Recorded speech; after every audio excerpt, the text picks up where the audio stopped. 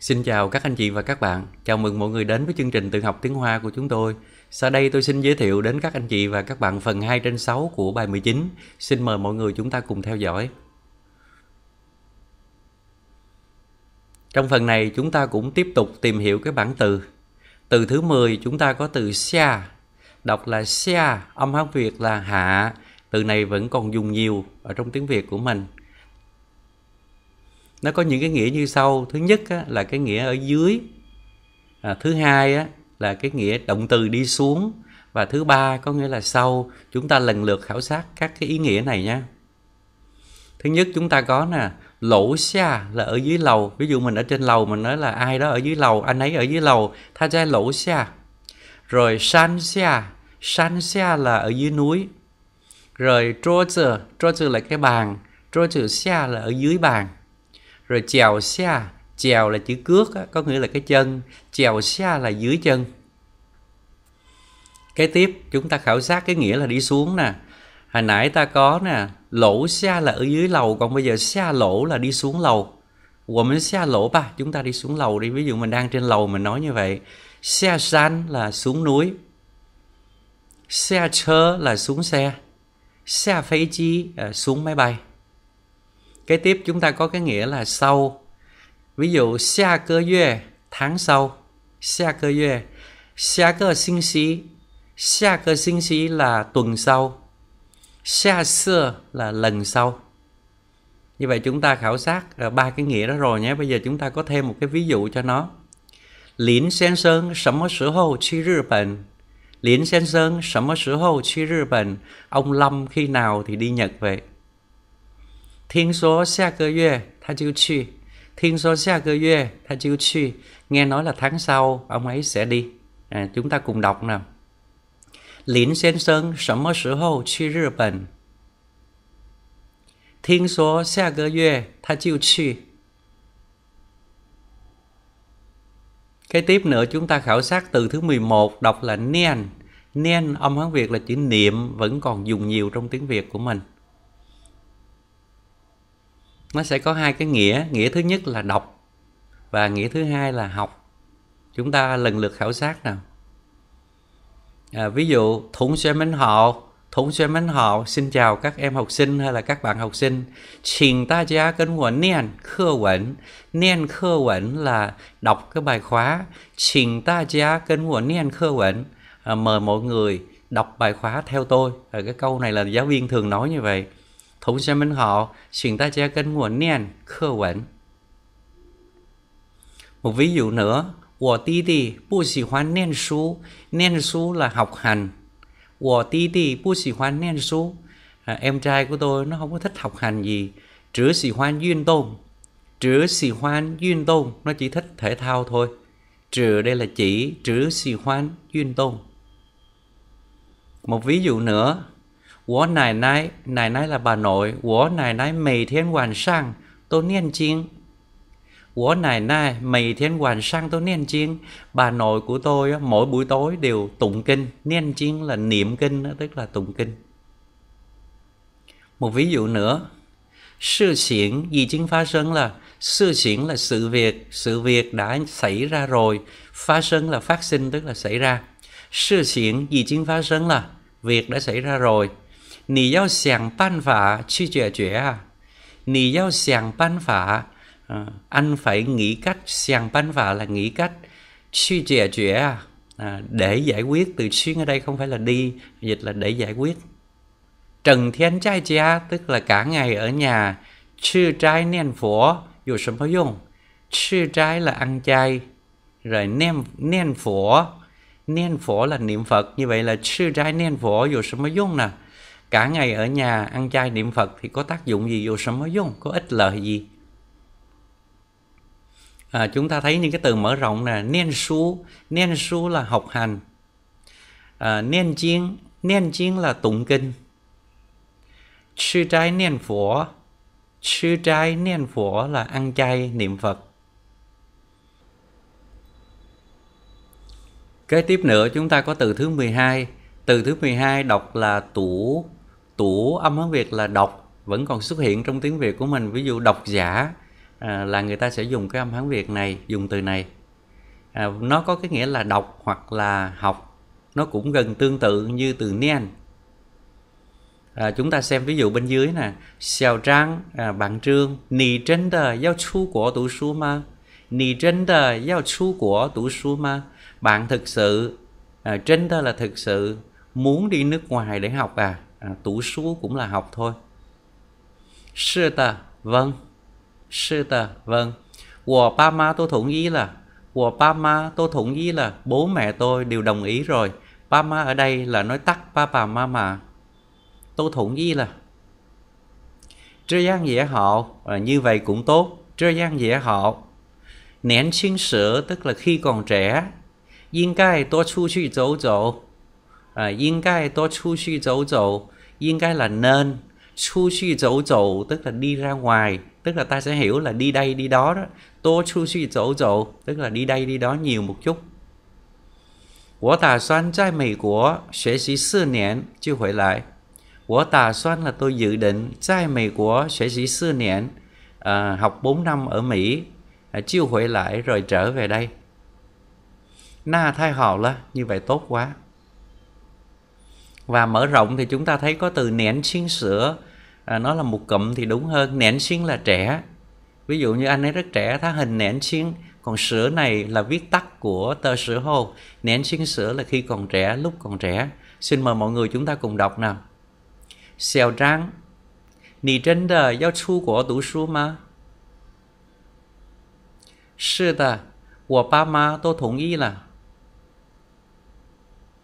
这样也好。 年轻时应该多出去走走。我打算在美国学习四年就回来。那太好了。Kế tiếp nữa chúng ta tìm hiểu từ thứ 13. Từ thứ 13 đọc là chàng. Chàng âm Hán Việt là giảng. À, chàng âm Hán Việt là giảng nó sẽ có hai nghĩa. Cái nghĩa thứ nhất là kể và cái nghĩa thứ hai cũng là giảng luôn giảng bài chàng khơ. Chúng ta xem các ví dụ bên dưới. Mama, Jin Thiên kể wo giảng gì cơ cú sư bà.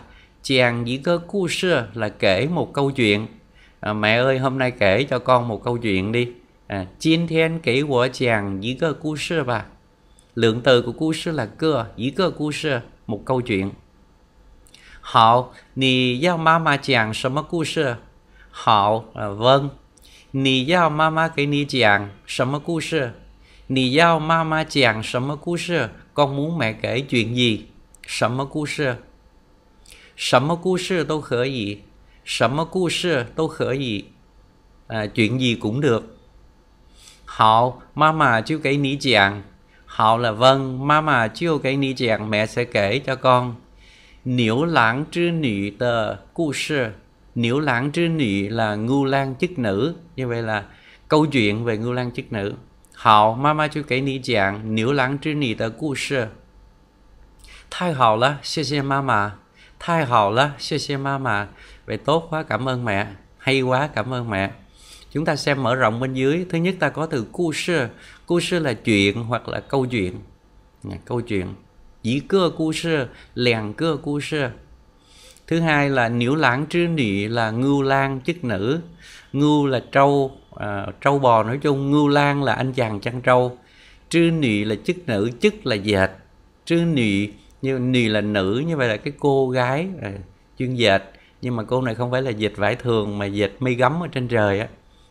Tương truyền như vậy. Xin mời mọi người chúng ta cùng đọc đoạn đàm thoại này nè. 妈妈，今天给我讲一个故事吧。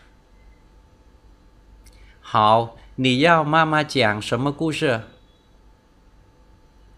什么故事都可以。好，妈妈就给你讲牛郎织女的故事。太好了，谢谢妈妈。Kế tiếp nữa chúng ta tìm hiểu từ thứ 14, từ thứ 14 đọc là sủng, sủng âm hán Việt là cùng, cùng khổ, những người cùng khổ á, cùng khốn, cùng khổ chữ cùng này à, có nghĩa là nghèo, cùng là nghèo. Chúng ta xem ví dụ bên dưới.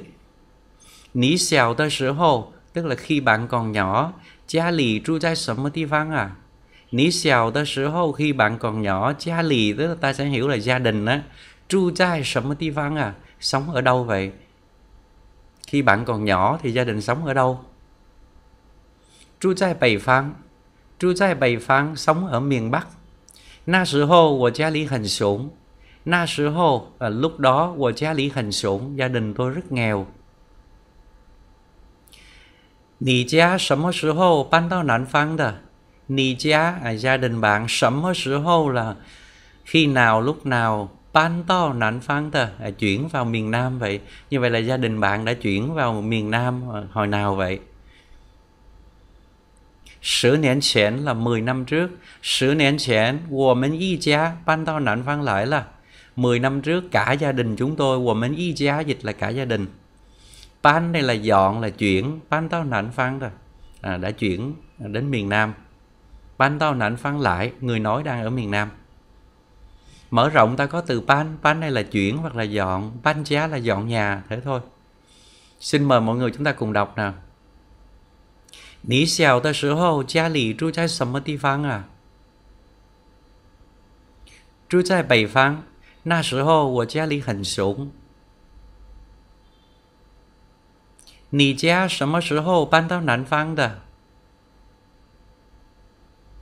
十年前，我们一家搬到南方来的。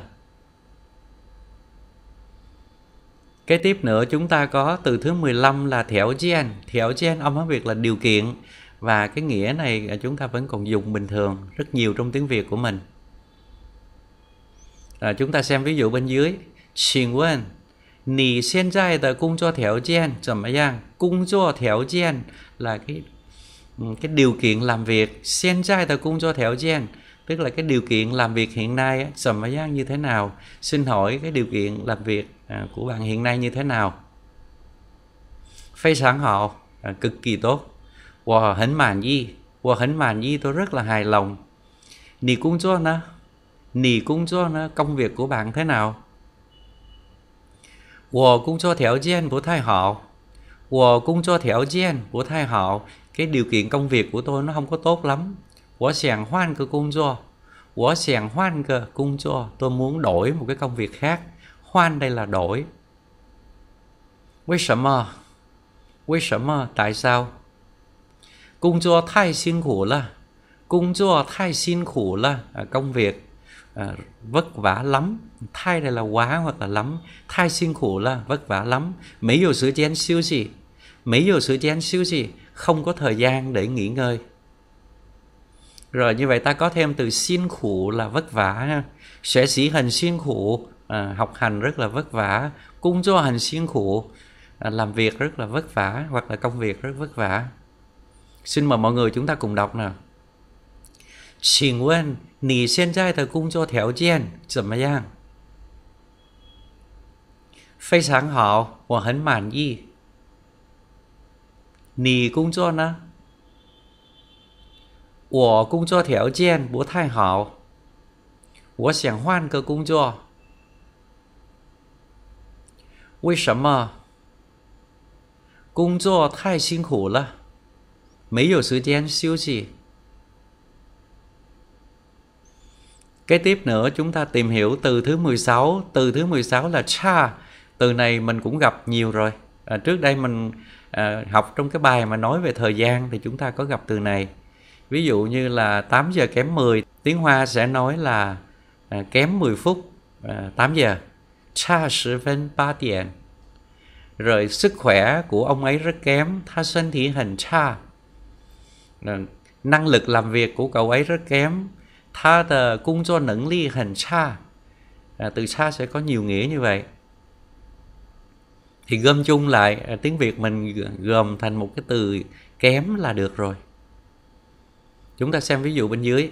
Chơi chiên nì dễ dễ sân thị dầm mà giang. Chơi chiên nì dễ dễ sân thị dầm mà giang. À, dạo này hoặc là gần đây, Sức khỏe của ông nội bạn thế nào? Chơi chiên tha sân thị hẳn cha. Chơi chiên tha sân thị hẳn cha, Gần đây sức khỏe của ông rất là kém. 每天早上他还去锻炼身体吗 每天早上là mỗi buổi sáng. Tha hãy去锻炼身体吗? Ông vẫn còn đi rèn luyện tập luyện sức khỏe không? 最近他的病又发作了。最近 là gần đây, tha tờ biên là bệnh của ông, vô pha chô là pha chô là bị tái phát, vô pha chô là lại bị tái phát nữa. Sủng chào to hoàn từ sáng đến tối, tô trai cha lì đều ở trong nhà thôi. Rồi mở rộng chúng ta có từ thứ nhất là toan liên. Toan liên là rèn luyện thì thường nó sẽ là toan liên sinh thị, là rèn luyện sức khỏe, tức là đi tập những cái môn thể dục đồ này nọ. Kế tiếp ta có từ pha chua, pha chua có nghĩa là tái phát, cái bệnh gì nó tái phát thì chúng ta dùng từ này. Xin mời mọi người chúng ta cùng đọc nào. 最近你爷爷身体怎么样？ 最近他身体很差。每天早上他还去锻炼身体吗？最近他的病又发作了。Súng chào tao hoàn tôi在家里. Và đến đây thì mình xin kết thúc phần 2 trên 6 của bài 19. Xin cảm ơn các anh chị và các bạn đã quan tâm và theo dõi. Hẹn gặp mọi người ở video clip kế tiếp. À, xin chào.